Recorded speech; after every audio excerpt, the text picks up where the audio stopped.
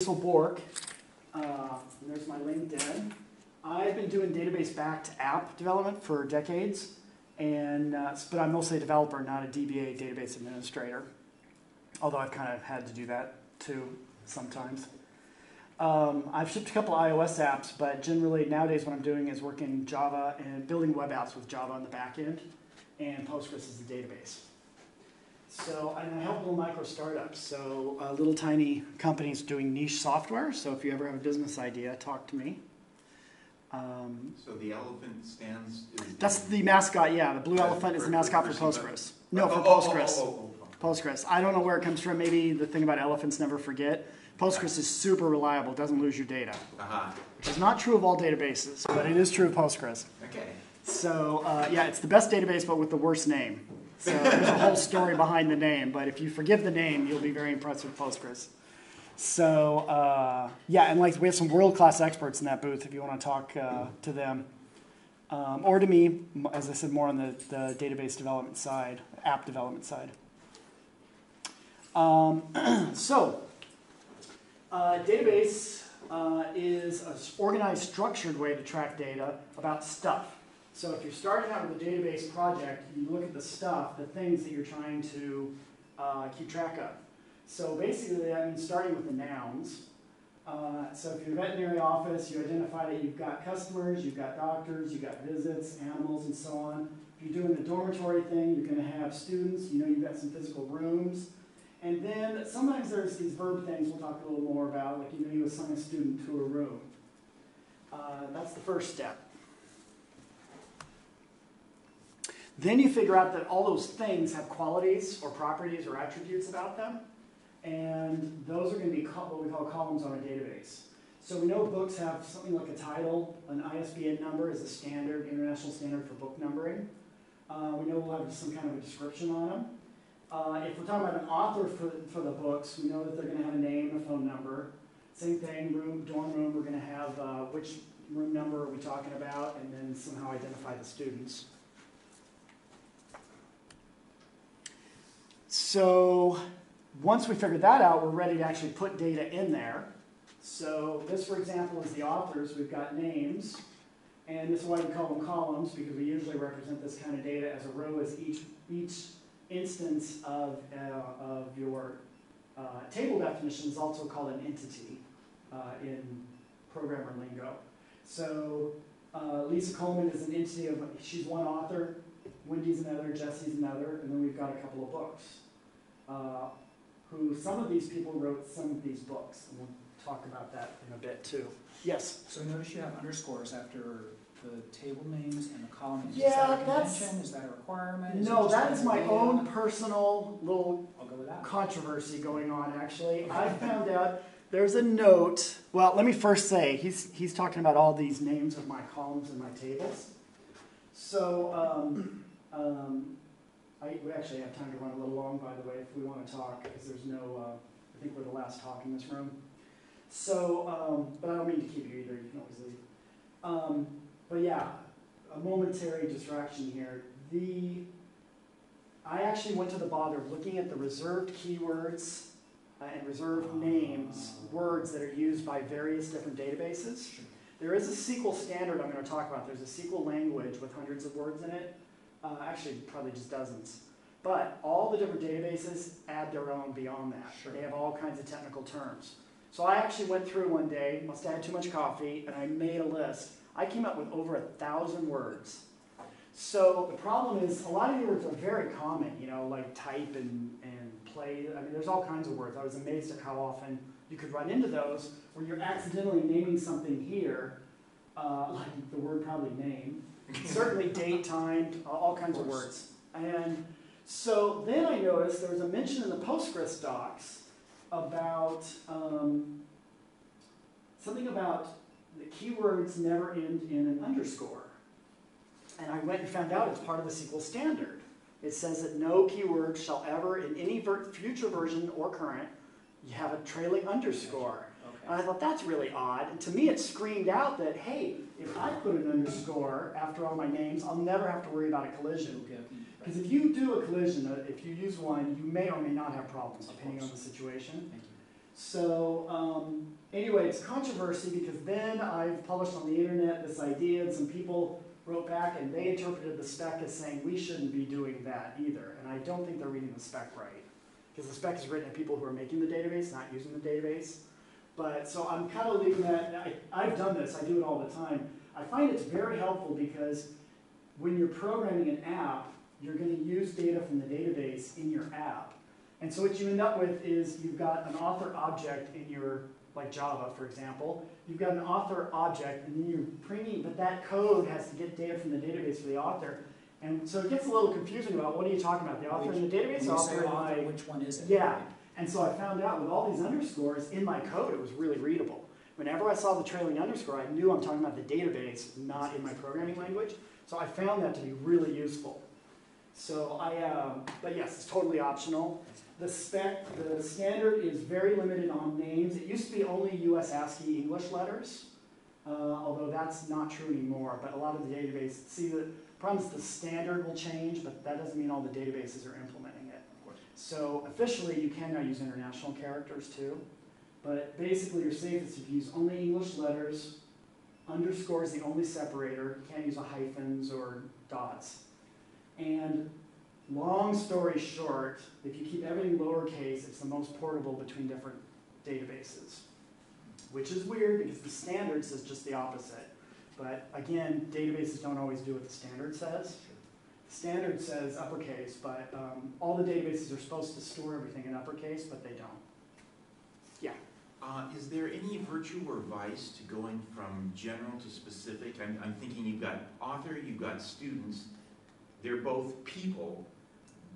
You know, wouldn't it be better? you know, uh. Oh, well, I have this dividing line, so I kind of make those be two different sample, two different databases. Right. But, but you, you're still making a valid point that sometimes you have like uh, employees versus uh, contact people. Uh-huh. So might you consolidate some of that stuff? Uh, That's kind of an advanced topic. I'd Oh, okay. rather talk about separate. All right, Because there are pros and cons and times where you do and times where you don't. gotcha. Um, and that's part of the skill and talent of being a developer and a DBA is to figure out the nuance. You have to understand the business problem to Mhm. understand if those things are really, really different or if they're kind of the same. So it's kind of like, uh, isn't that on uh, Sesame Street? What are these things? Or two of these things are kind of the same. They used to do a little thing for the kids, uh, and that's a lot of what you do in development work is trying to understand the business problem and tear it apart in a really specific way. Because a lot of times the business people don't. Humans tolerate ambiguity really well. So business people, you know, uh, can kind of blur these things together and it all works out. But when you're doing a database, you have to get really precise in your definitions because you're going to put them in one table or another. So that's actually a really tricky question what you asked. Okay. Um, so when you define these columns, um, we're putting data into each one of these. There's actually not a word for this actual value. You can say value or kind of cell. It's kind of like a spreadsheet in that we've got rows and columns. You could call it a cell. Generally, it's called a value. Um, but anyway, we, we can store different kinds of data in different columns. Now, these three I happen to be showing you are all basically text but there are other kinds of data that you can store. And what's cool about databases is that they're smart and that they can understand different kinds of data have meaning in different ways. And what I mean is, for example, if they're numbers, then the database knows how to sort them. And basically what we're talking about is searching and sorting. So if it knows it's text, the database can help you figure out with uh, should it be case sensitive or not case sensitive? Should we, you know, care about uppercase versus lowercase or not? If we, and if you want to alphabetize, how do you alphabetize? Uh, you know, does uppercase come before or after lowercase? What about accented characters in other languages? So databases are built to be smart about the kinds of data that you're storing. So I'm going to give you a quick overview of the data types because that's the next step when you build a database. After you got your entities, which are your tables, and then you figure out what are your attributes, those are the columns, then you need to figure out exactly what kind of data are we going to store in those columns. So uh, what I'm showing here, again, the SQL standard uh, defines some of these, a small subset of them, but all databases have more than the standard requires. So The standard has char and varchar, which is short for character and variable, variable length character. Um, because the character type, what it does is to pad out, if you put in, like my name Basil's five letters long, if you put it in a column and you say it's ten maximum wide, it'll pad in the last five with spaces. So, um, in modern systems, we don't tend to do that anymore. It used to be more efficient when computers were a lot more limited. Varchar says let's, uh, let's only store, if a name is B-A-S-I-L, let's only store five letters. Let's not stick in five more spaces. Postgres has a type, all databases have their own types as well as the standard ones. So Postgres has one just called text. Because in Postgres, this behavior really is this behavior. And um, both of these, you put in a maximum length. Uh, with this text, you don't have to worry about it. Um, so if you are only using Postgres, I would just say use text and don't even worry about the details. If you might cross databases, use other databases, then you'd want to learn to use these two. This CLOB is for character large object, and this is for huge amounts of data, because usually these database types are limited to like 64 characters or 256 characters. I think Postgres are, um, oh, Postgres is are kind of unlimited, but some databases are not. So CLOB is a type in some databases for when you have like, I want to put my whole book in that one field. Um, integers, the integer types, integer means that it's a whole number, there's no fraction on the end. And uh, small int and int and big int are all about how, what range of numbers you can put in it. So these are basically, uh, these are usually 16-bit, 32-bit, or 64-bit, which means int is kind of the common one because that's up to uh, 2 to 4, plus or minus 2 billion. The small int I can't remember, but if you're doing like a person's age, you know, or how many pets does somebody have, you could use small int because you know you're not in the billions. Big int is for humongous numbers. 64-bit is gazillions. Uh, so you rarely use that uh, in most apps, most business apps at least. In science, might be more common. There are fractional, if you did, this is a whole number. If you have fractional numbers, then you can use these other types. Um, uh, and there are two types here, which people who are novices are going to be surprised to learn, that this type, approximate fractions, are what is also called floating point. Floating point is a technology that handles fractional numbers, but you are trading away accuracy for speed. So, and that's usually used by default in a lot of software. So uh, this can even bite you even if you're like trying to calculate your mortgage in a spreadsheet. Um, the spreadsheets are usually using floating point technology. So you'll find when you're doing calculation on the life of a mortgage, it's $100,000, you get to the end and total it, and it's not exactly 100,000 when you total up all the pieces, because the actual fractions will have a little tiny bit of error on the end. But it's not really an error, it's a trade away because they're really fast to calculate. So this is really important because you do not use these types if you're tracking money in a database. Um, same issue happens in programming languages. Um, some programming languages are, are very limited, and you only get floating point numbers, and then you got a problem, and handling money is not going to work well. Uh, in databases, you're going to use uh, the numeric or decimal type if you're handling money, uh, or anytime you care about accuracy. Even though it's going to be slower to calculate, uh, it's going to be accurate numbers. Um, but this stuff is often used, for example, science and engineering, where they want speed of calculations and they know there's a tiny little error in the.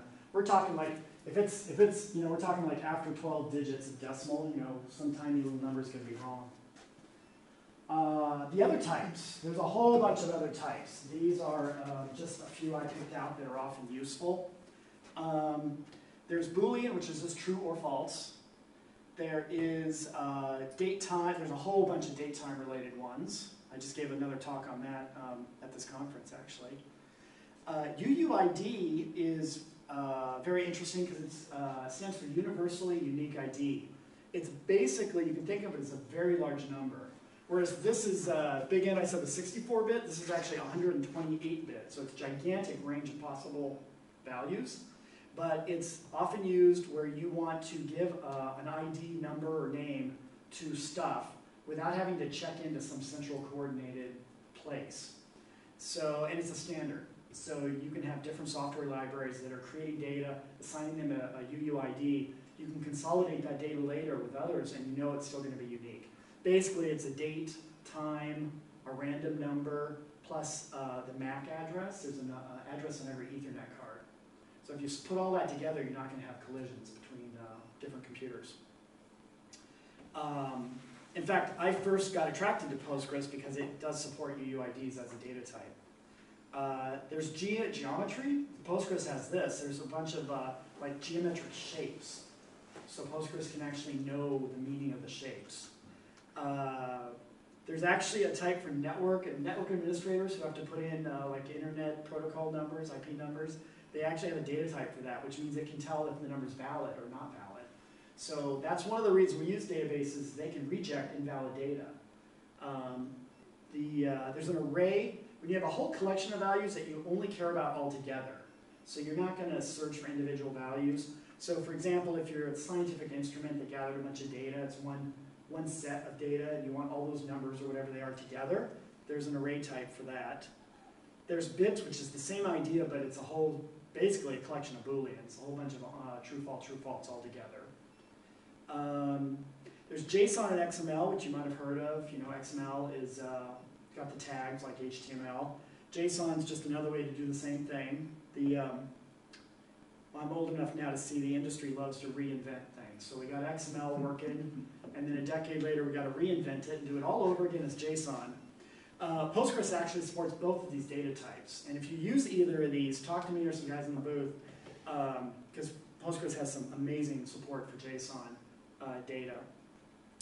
PostGIS is for geographic information. So, you know, this all like geolocation on your phone or this stuff where on a map, like where are the flood areas in this city going to be if the river rises, all that kind of how you define the contours and the places. That is, um, Postgres is actually industry leading on that. There's a whole module you add onto Postgres called PostGIS for Geo Info Systems. Um, and then there's, I got an ellipsis here because there's a whole bunch more types.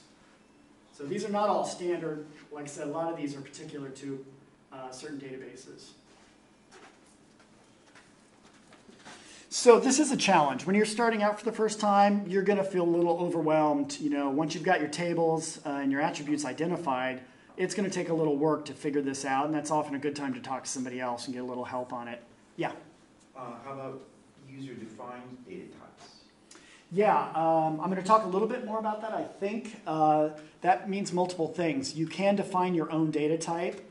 One of the easiest ways to do that is to have uh, define a domain. So, for example, we sell chairs, and chairs only come in Dusty Rose and Periwinkle and whatever. I'm making up those names in the catalogs. Burnt we, orange, Yeah, yeah. and burnt orange. We only sell those three things. So I don't want somebody putting in the database red.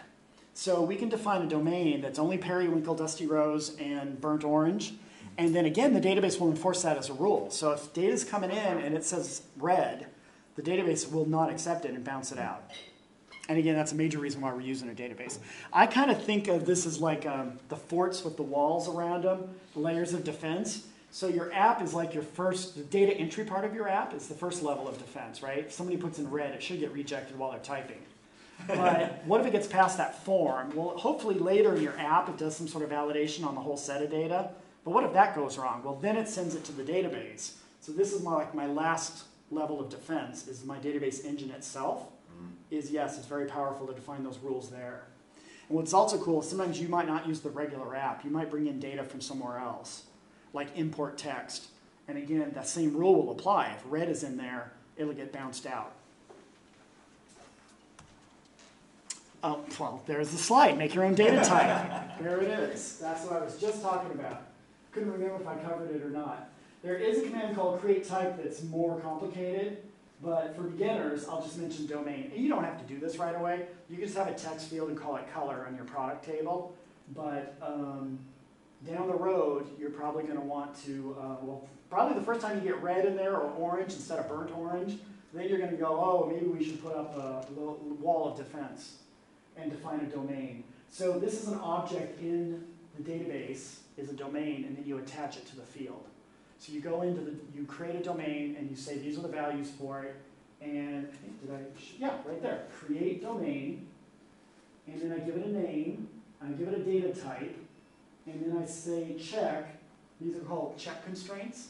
So we're saying we're going to constrain our data when it comes in that it has to pass this check test.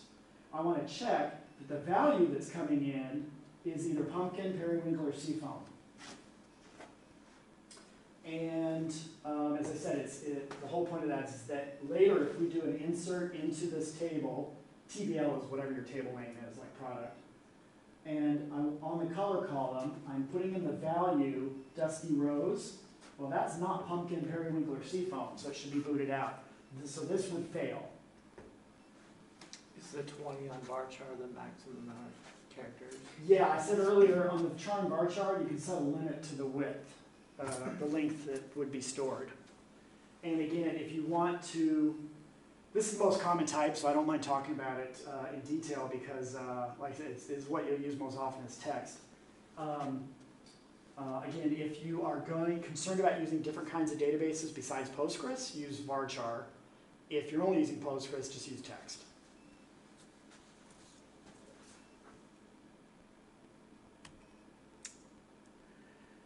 Um, so the way a SQL, uh, SQL is an acronym for Structured Query Language. There are other kinds of databases.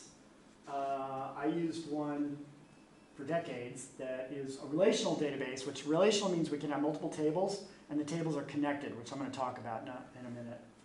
Um, so there are relational databases then. Most of those nowadays are all SQL, but not necessarily. So SQL is a particular language, it's a set of commands. We just saw those commands I was just reading out. Um, but the concept that you need to understand is that the database is a black box.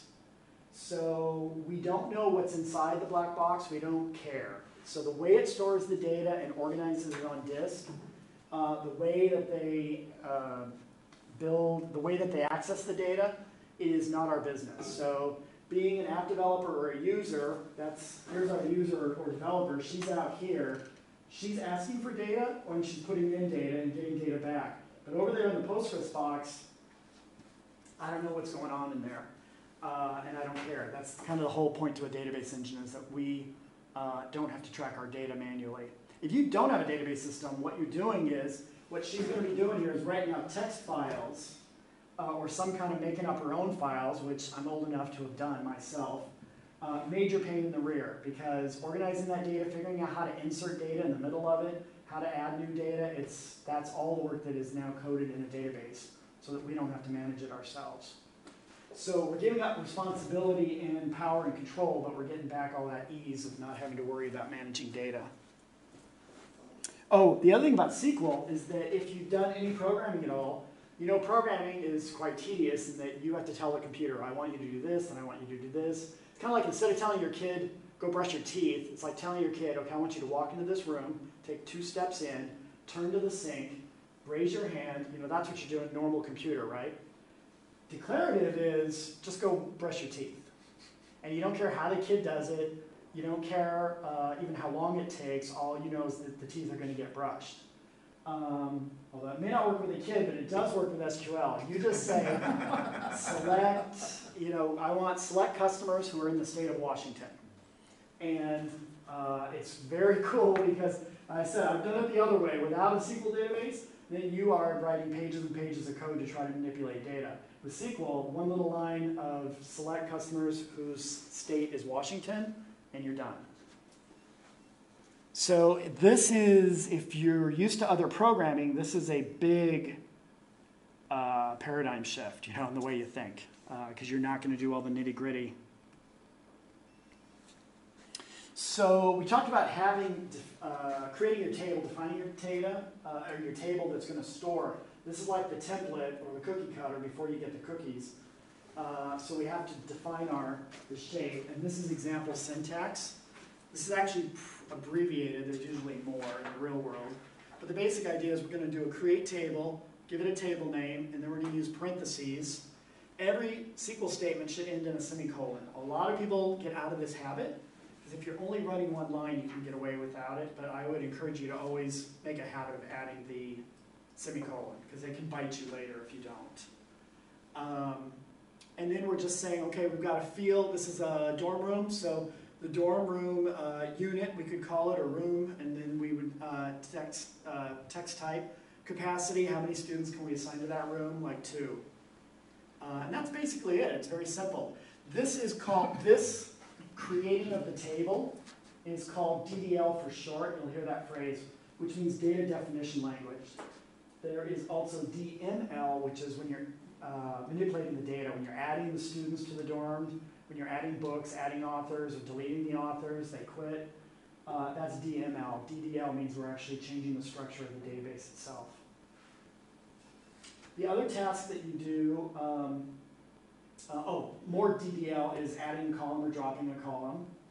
Um, some databases you can even change the data type on the column. Um, indexing, indexing is all about speed of access.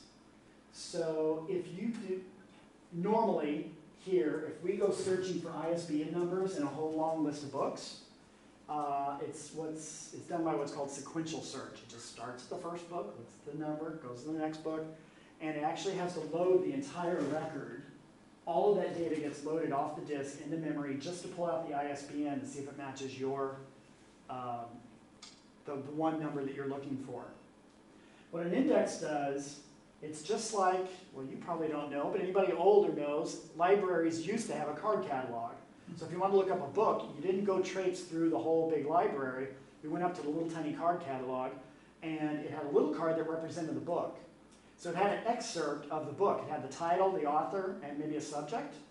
That's what an index does for you, is that it copies, if we index this ISBN column, it copies the ISBN data, puts it somewhere else in the database engine, and then uh, because it's compact, it doesn't have all the rest of the data, we can now scan that list much, much faster. So one of the things you'll do is, um, you don't need to do it when you're beginning, if you're just playing around, but when you're getting more serious and you're going to deploy something, if you're going to have a lot of data in that table, a lot of books or a lot of dorm rooms, then you're going to want to index the columns that you search on a lot. That's just another big challenge you're going to take on. Uh,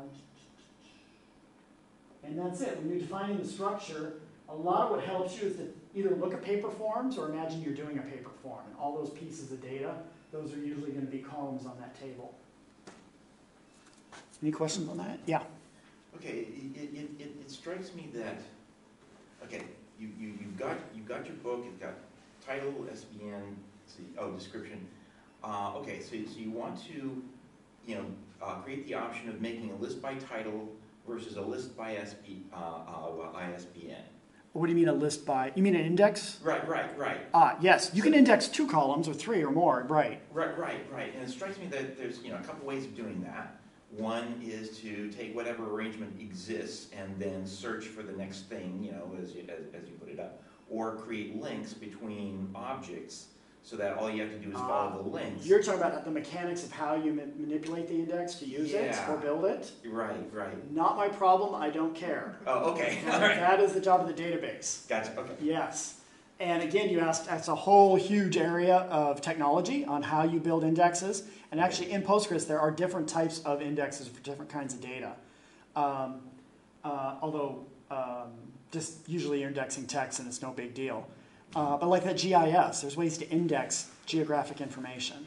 So um, it's, it's a specialized kind of index. So all of that is like a huge topic. But again, in the end, I don't care. As a developer, it's like I just say I want an index and it's done. Okay, Does that, does that help? So again, it's a declarative language. I just say select book where ISBN equals XYZ123. And then I don't care how it finds it. I don't care if there's an index or not. The only difference is speed. If there's millions of books, it might take minutes or seconds to find my book for one ISBN number. If it's indexed, it'll probably take a split second. right, right. So it's speed. That's the, the only reason I care as a developer or a user is speed. That's the only reason why I'm indexing or not indexing. Yeah, and I don't want to index because uh, why don't we just index everything, right? Well, the reason is, for one thing, you're duplicating all that data. It's got to be duplicated out into the other index. The other is every time you insert a record, the indexes have to be updated. And I used to, like when I was her age, you go to the library, you want a book, and it's in the back room because librarians haven't created the card catalogs. They have to type it on a typewriter and then walk it and alphabetize it in the tray. So they'd have a book for weeks, and I know it, I can see it sitting on the shelf, right? But they don't have the card catalog, so they won't release it. So it's the exact same thing in a database, is that when you insert a record, it has to go to the index, and there's whole issues about locking. You know, two records can't get to the same index at the very same moment. So there can be a little backlog, just like the books in the library. There can be a little backlog. Uh, we're all talking usually split second, but still it's an issue. And if you've got a lot of data changes, you don't want to have indexes on everything because you're slowing down that inserting or deleting of rows. So that's the question of why don't we just index everything? Uh, the other thing is if you have very small number of records, uh, I mean, even a dorm, you know, you've got several hundred students. If it's one dorm that you're tracking, you don't need to index it because uh, what happens is that data is in memory. That's the other thing a database does for you is it manages the efficiency. So the data is stored on disk so that you can shut down your computer and still keep all your students and books.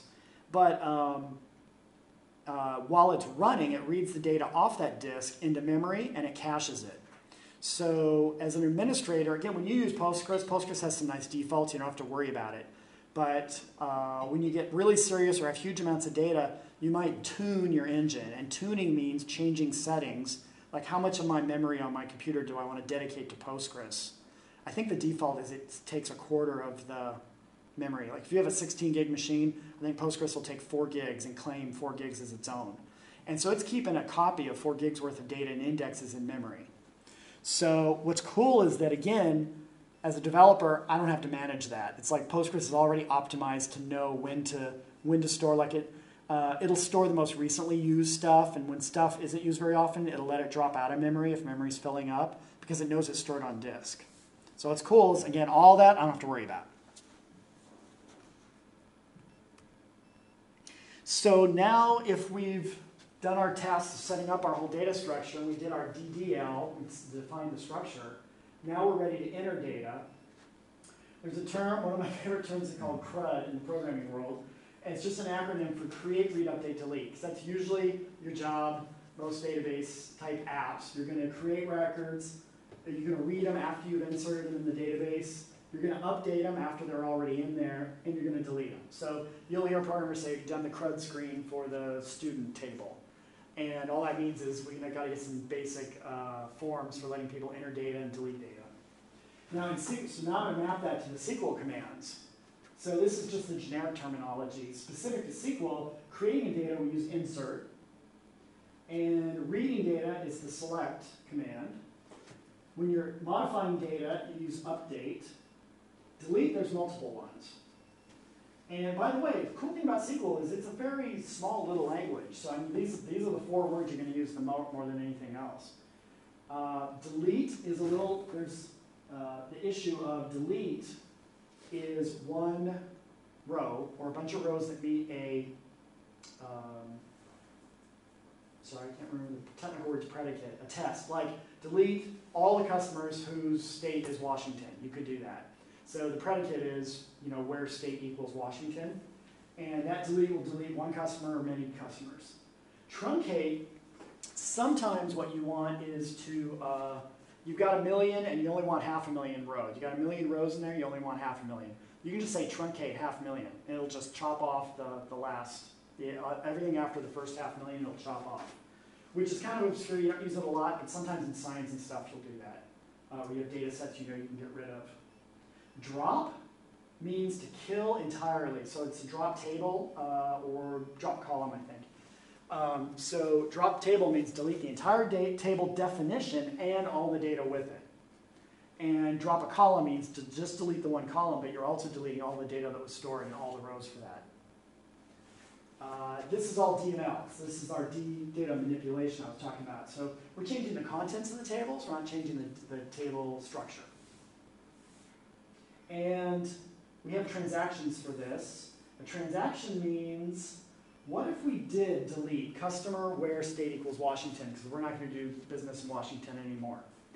What if we had uh, 1,000 customers, we're getting through 500, 501, 502, and at 503, somebody trips over the power cord on the server computer and kills our Postgres database.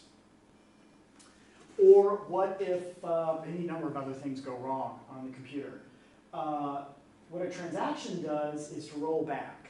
If anything goes wrong, you won't get just some of the customers deleted. That's the, that's the whole purpose of a transaction is saying, I want all of this to happen or none of it to happen. And in a database, it's almost always what you want. So uh, if, if, if we got to 503 out of 1,000 customers deleted, I don't want the 497 left in there. What will happen is um, the magic, the way this happens, is that in Postgres, there's a what's called a write-ahead log, a WAL. You'll hear the term wall file.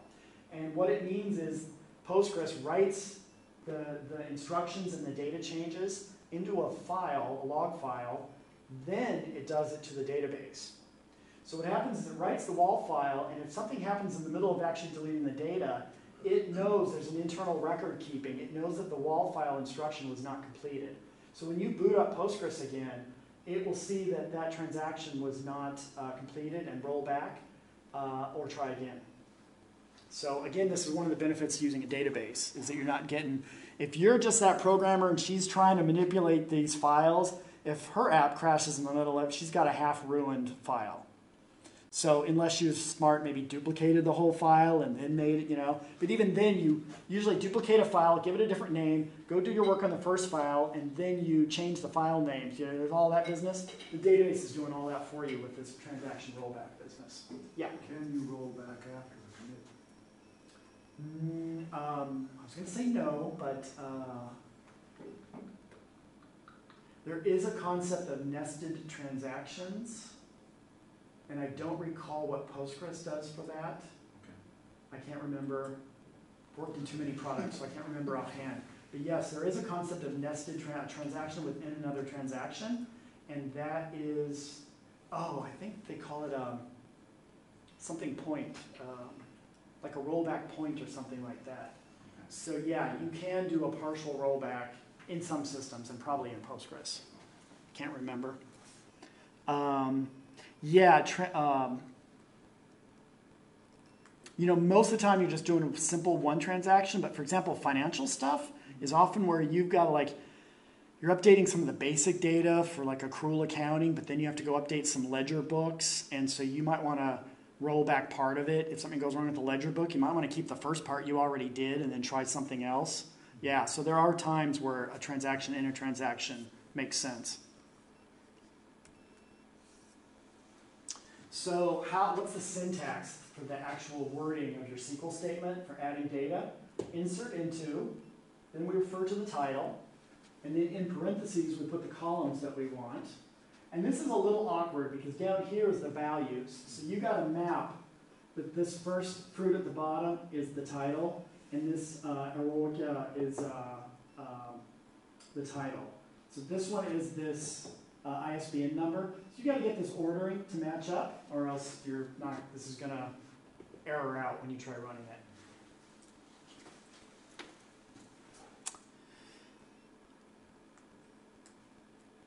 By the way, um, little trivia SQL language was actually developed by IBM for the purpose of end users. So they imagined that managers and secretaries were going to type all this out as a way to interact with a database. That never happened. So uh, I'm showing you some simple stuff, but SQL gets more complicated. But even in this simple one, as I just said, you got to get this ordering right, and it's like you know this is not easy to do. You can't really have line managers and data entry people doing that. So normally this is always happening as a, uh, you know, you're writing an app of some kind in some programming language that is writing out this SQL and then sending it to the database to be executed.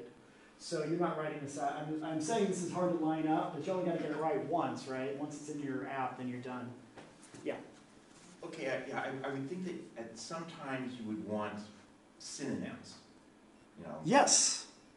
Uh, well, you know, you know, because, okay, your, your user can't remember crimson and puts in scarlet instead. Oh, you mean for the values? Yeah, That's the business of your app. So your app, for example, you could have a pop-up menu, so they're not typing in burnt Mm. orange. It's on a list, a pop-up of three colors. So they're choosing burnt, burnt orange. That's the job of the app to make data entry easy.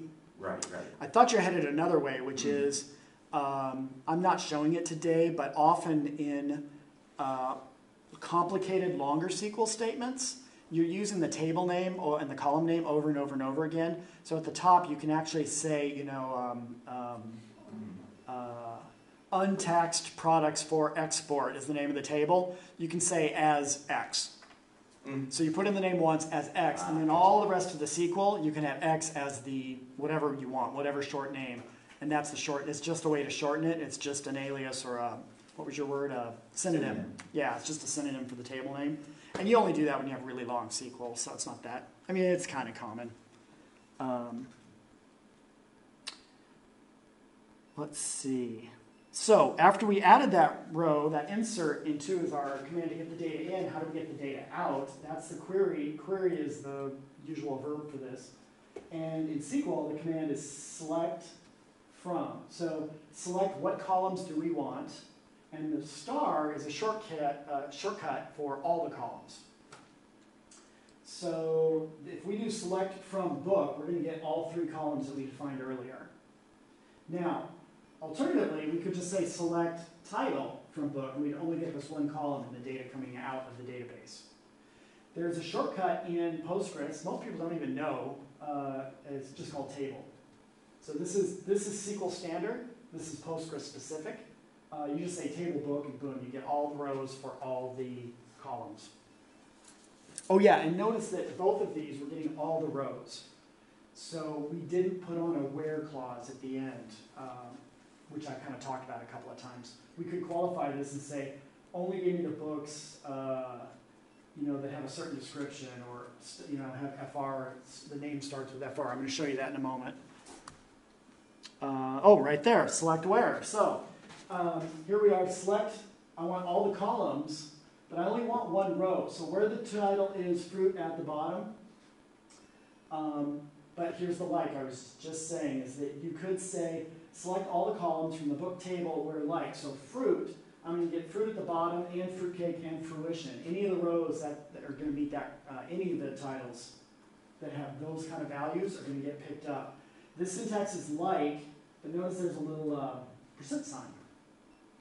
Uh, oh, the other thing notice is we're using single quotes here. These single quote marks is what we use in SQL. So you will definitely make the mistake there using double quotes, and you'll get errors.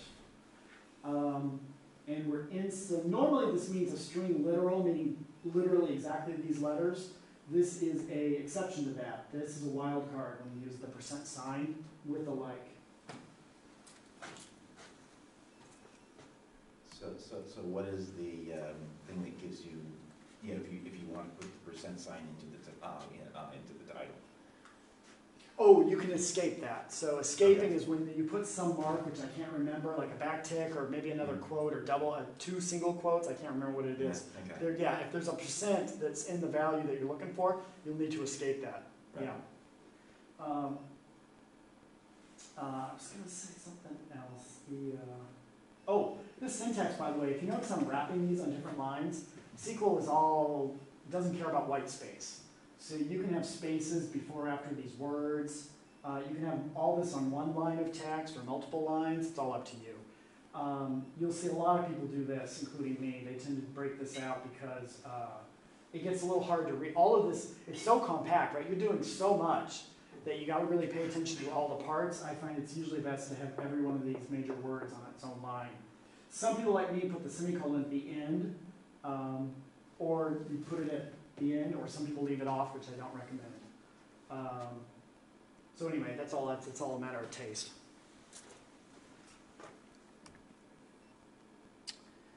Uh, t- t- t- whoops, what did I do? Oh, here, here instead of star, we're doing the uh, column.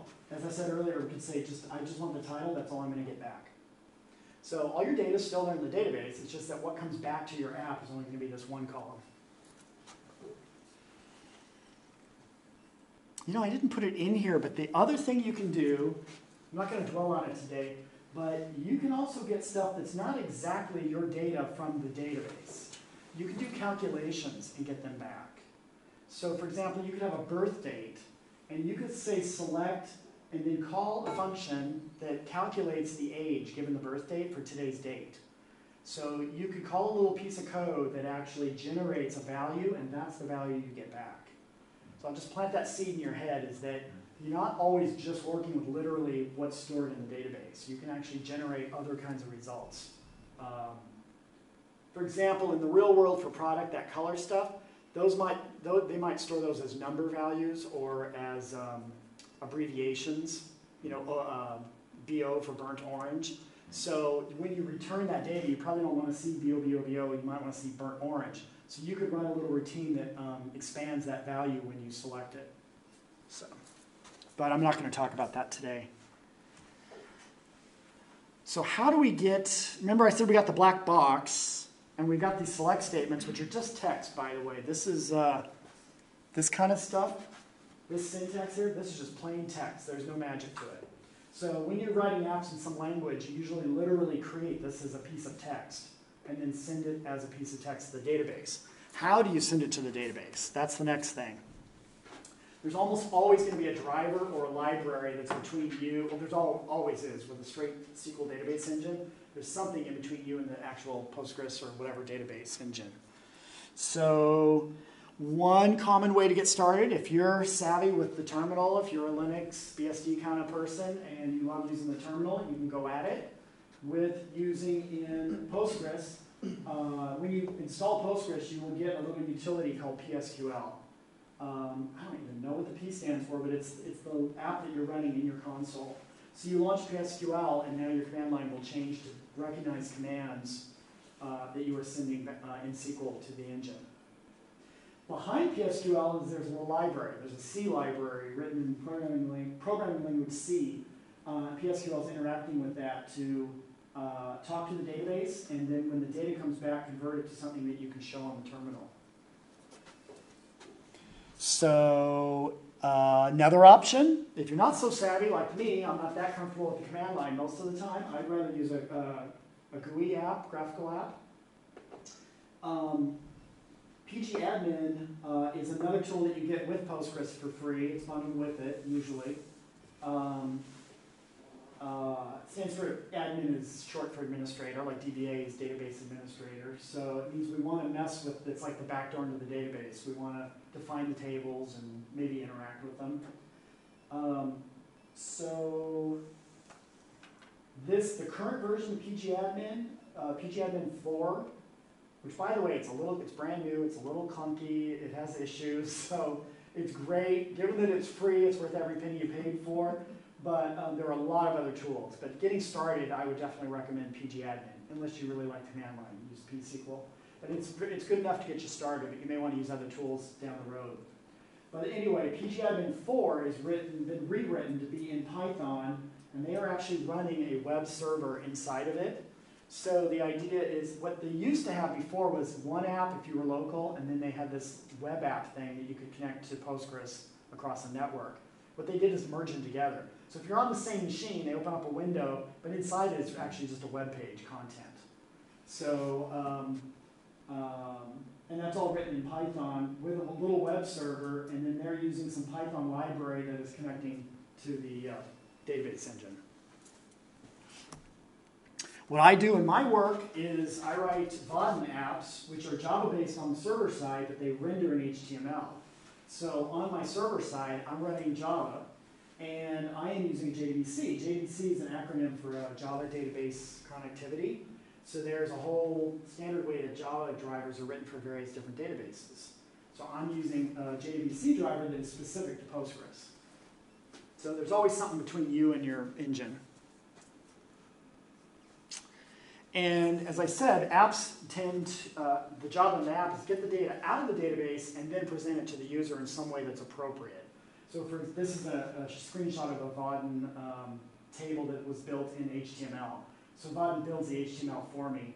So in Java, I said, go get this data, use my JDBC driver, pull the data into memory on my server, my app server, and then I might want to massage it with Java and then have Vaadin displayed on the screen. So Vaadin is doing things like providing features like to click and sort this column list, um, which could, as the app developer, I could either sort the records that I already have in memory, or maybe I want to go back to the database and get fresh data and sort it and have the database sort it, or uh, just get just make sure I got the latest data. That's another issue to think about is when you're dealing with an app, it's always a step away from the database. So you now have stale data, right? The moment you make that select query, you got data back. a moment later, somebody else could be changing that data in the database. So your app is always just a little stale, right? It's not the data, it's a copy of the data you got out of the database. Uh, oh, and by the way, these blank bars, you don't see them on the screen well. This is actually a box to type in and filter values. So you could type in ART and get Arthur and eliminate the display of these TMU. Again, that's the job of the app. You may or may not go back to the database to just get the authors, but for example, this Vaadin tool automatically suppress the display of the ones that don't meet that criteria. I don't know how new you guys are to app development, so I'm just trying to give you the concepts. So the next big issue to talk about is we're getting back all these rows. How do we know which row is which? Because I just said we're getting a copy of them. What if this Arthur is he's European, uh, and so he it's Arthur without an H in it. What if that was a misspelling, and we need to update the H uh, is missing and it should be changed? So we need to find which one of these have his name, but it's this record. I know it's not some other Arthur. So how do I know which one of these rows is the row in the database? And that is an issue of identity. How do I identify each row? And in a database, you always have a primary key, which simply means this is a column on this table, and I know uh, that it has a value that is unique, meaning there are no other rows with that value. And because it's unique, it means that I know that I can always use it to track this one record. So what happens in an app often is that when you have this displayed, there's often another column that's just not displayed that is the primary key value. So in the real world, I would I could have click on here and have an edit button and they click the edit and they want to change the name. Well, when they click the edit button, I notice which row was selected and I go into the hidden column and I pull out that primary key value. So that's how I know which number identifies that guy. So, uh, this is critical. This is absolutely critical. Every table you're going to figure out a primary key. Uh, yeah, so how do you do that? What kind of data is going to be in that extra column? Well, you don't have to have an extra, extra column in the database if you have a value in your data that already could make sense to use as an identifier. So for example, employees, every company gives out a badge and they've got an employee ID number on it. So the company has already generated a unique identifier for that employee. So this is what's called a natural key. Natural meaning it's already in my data, I don't need to do anything. I just need to tell Postgres, oh, employee ID, make that my primary key. Um, the problem with this is, uh, this is also a big debate, whether to do a natural key or not is a big debate. You, you know, over beers always get uh, DBA programmers riled up. I'm in the camp that this has never ever worked for me in the real world because data, the data always changes and you don't want your key changing. Uh, it's kind of like, would you want the apartment number on your apartment changing? Oh, every couple of years, you're now you're in 18, now you're in 17? No, that would drive you nuts, right? It's the ID is so important to the whole rest of the database system which we're going to talk about in a moment, uh, the other places you're using that ID. So I found employee ID, oh great, until you merge with another company. So now all, whoever bought who, those employees lose their old employee number, get a new number. So all your data now is wrong. Uh, company names have changed on me. I mean, everything. Uh, identifier for campuses or buildings or locations around the country, those things change. They get redefined by somebody. So I'm in the camp where I never use a natural key. I use what's called the surrogate key, where I am adding an extra column to the database just for the purpose of identifying it. So then the question is, well, what kind of data am I going to stick into that field? And usually there's two types. It's either a number, a sequence, you start at one, or you can start at a thousand, thousand one, thousand two, whatever, whatever makes sense. Um, uh, for example, if you had employee IDs already, you might just start with those, but not depend on them in the future. Um, oh, and the great thing is databases all have a sequence generating feature in them.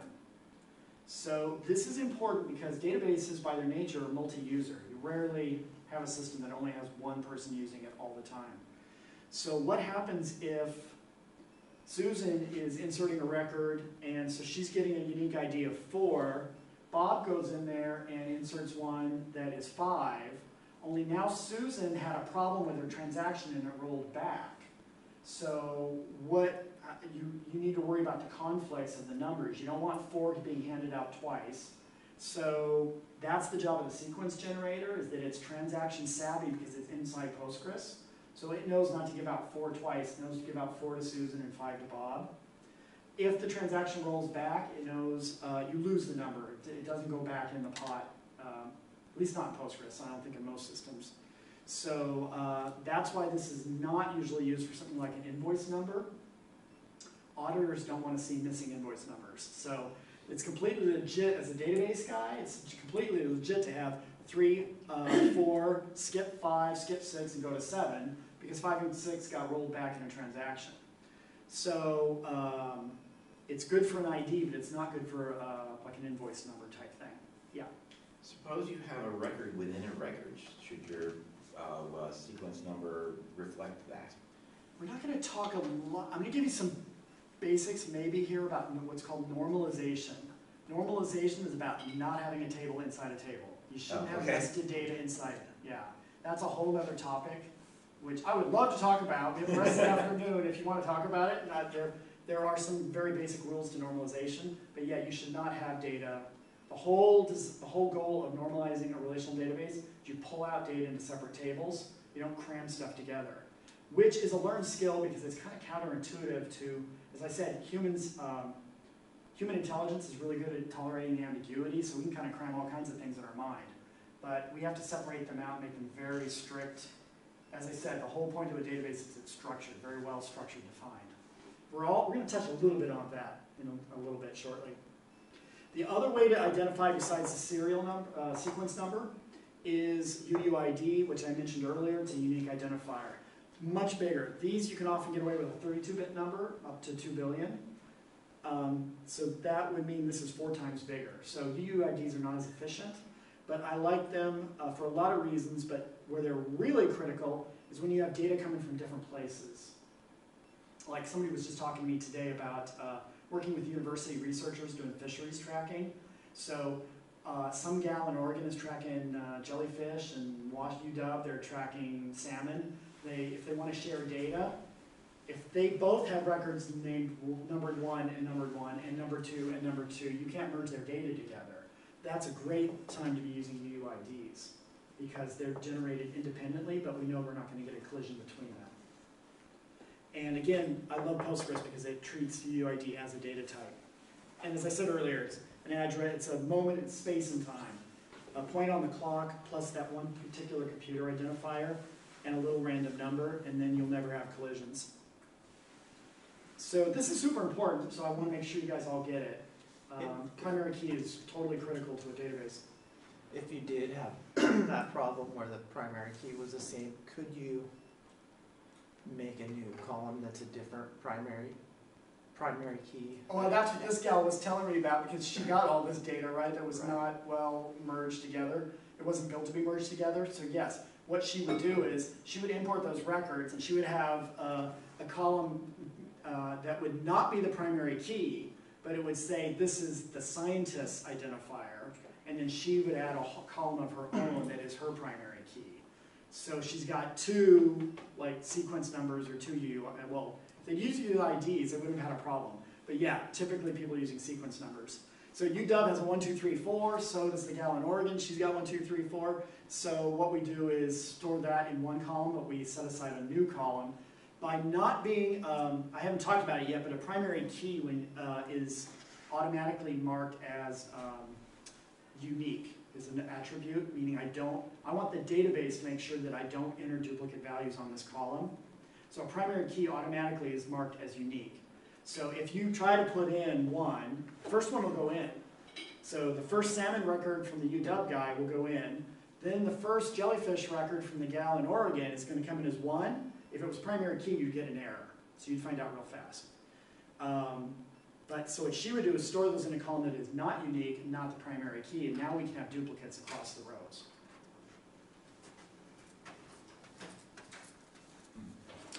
Uh, that's the fun of being a programmer DBA guy is managing these kind of weird data problems. Because you know what, business people, don't worry about this. the problem is business people are generating data and they don't think about these little nuances. Yeah. So, so, so, so would it make sense to have two keys, a sequential for uh, speed and a UUID for, to, to keep things straight if you need to? Um, well, as I said, this example with the salmon fish thing, we've got one that's sort of a, it's a primary, it's a key in their database where the data came from, but not in our database. Right. So no, you're always going to have one and only one primary key in each of your tables. You might have some columns in there that have meaning in other systems. Mhm. Does that kind of answer it? Yeah. Yeah. Uh, and like I said, to me, in an ideal world, we'd all have UUIDs. I, I'm see, I'm old enough that UUIDs used to be way too expensive. I mean, I started in mainframe days where you did not, you could not afford 128 bits on every single record. Mm. So now we can, and I wish people took more advantage of that. You know, now we've got gigabytes on laptops, so we really can afford to have that. Um, so in an ideal world, all these scientists across these jellyfish and salmon should have all had UUIDs. We'd have no problem. And it's a standard, so it's a it's a format that's compatible that can be generated. Um, yeah, and I don't know if I'm running late. You guys can always leave. Um, You're uh, starting to, don't be embarrassed, huh? you're starting to run late. Yeah, okay, like I said, I'm the last one, so I think we're, You have, you have one more actually starting at one forty-five. we do? On the schedule. Oh, I'm sorry, I thought I was last, okay. Um, let me see. Then I'm just gonna talk a little bit about the, uh, where I said we use the keys elsewhere. And this is relating the tables. Like I said, relational a relational database is all about linking up these tables.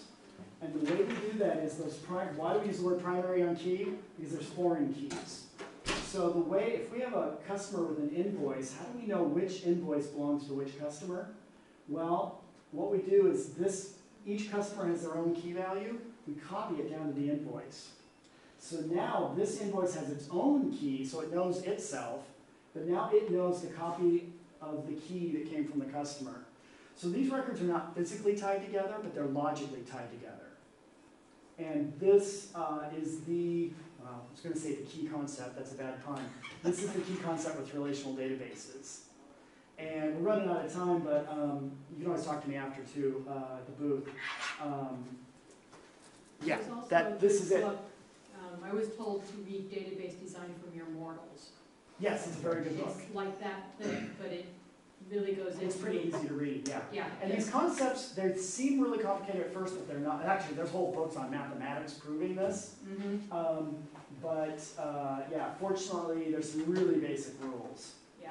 And notice that this cascades down. We can have grand, I, some people like me call this parent-child, grandchild relationship. Line items on an invoice belong to this guy, then this guy belongs to the customer.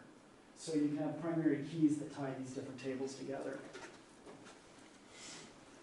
Thank you, very good. Uh-huh, great. Okay.